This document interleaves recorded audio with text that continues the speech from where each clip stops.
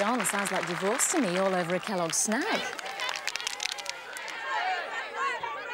Well, all I'm going to say is they're tasty gorgeous. I agree with Samantha, because they're 90% fat-free. If you just joined us, we're talking about these new Kellogg's Rice Krispie Squares. Rice Krispies entangled with melted marshmallow. Deliciously different. The taste champion. Don't listen to him, love. They're anything but square.